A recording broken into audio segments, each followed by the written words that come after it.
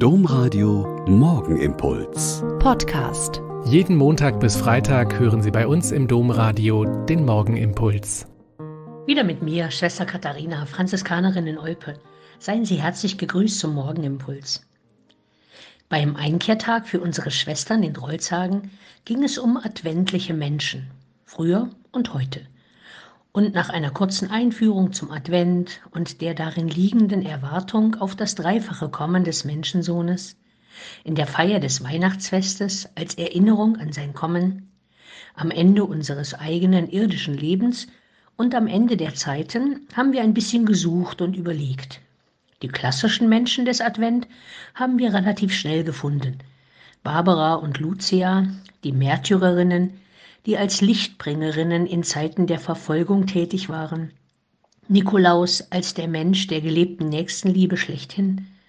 Adolf Kolping als der, der sich der konkreten Not der Handwerksgesellen angenommen hat.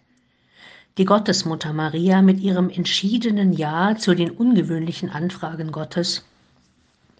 Jesaja als der Prophet, der in kriegerischen Zeiten immer wieder dem Volk den Trost Gottes zugesagt hat und Johannes der Täufer, der sehr energisch von sich weg auf den wahren Messias hingewiesen hat. Und dann hat eine Schwester auf Lodomir Zelensky, den Präsidenten der Ukraine, hingewiesen, der mit all seinen Fähigkeiten und Möglichkeiten versucht, in seinem angegriffenen Volk die Hoffnung auf den Sieg und den Frieden immer wieder zu bestärken. Und unsere fast hundertjährige Schwester bringt den neuen Paderborner Erzbischof ins Spiel, auf meine Frage, warum sie das denn denkt, kann sie sehr klar sagen, ich habe seine kurze Ansprache bei der Verkündung im Paderborner Dom gehört, und er hat gesagt, dass er diesen Dienst mit Angst und Hoffnung angenommen hat. Und so geht es uns Christen doch oft. Die derzeitigen Krisen in aller Welt, die Kriege und Katastrophen, die wieder nicht ernsthaften Beschlüsse der Weltklimakonferenz, die Umbrüche in Kirche und Gesellschaft machen vielen Menschen Angst.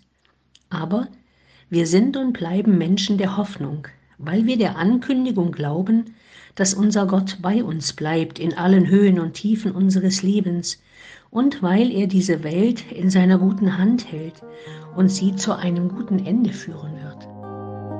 Der Morgenimpuls mit Schwester Katharina, Franziskanerin aus Olpe, jeden Montag bis Freitag um kurz nach sechs im Domradio. Weitere Infos auch zu anderen Podcasts auf domradio.de.